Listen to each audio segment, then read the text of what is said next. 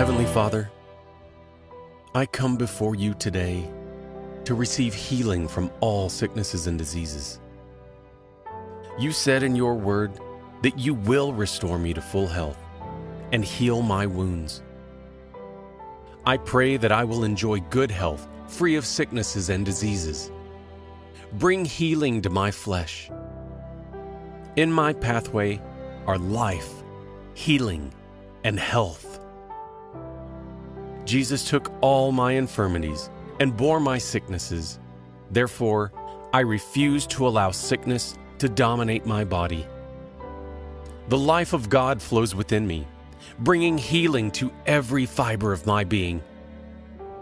Father, Lord, let your blood flow through my body and uproot all sicknesses and diseases.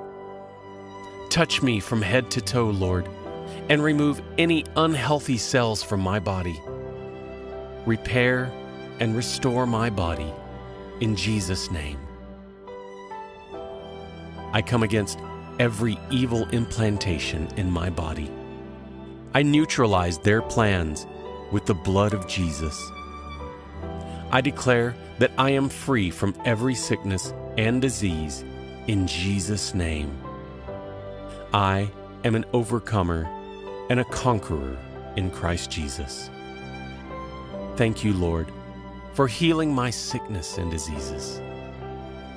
In Jesus' mighty name I pray.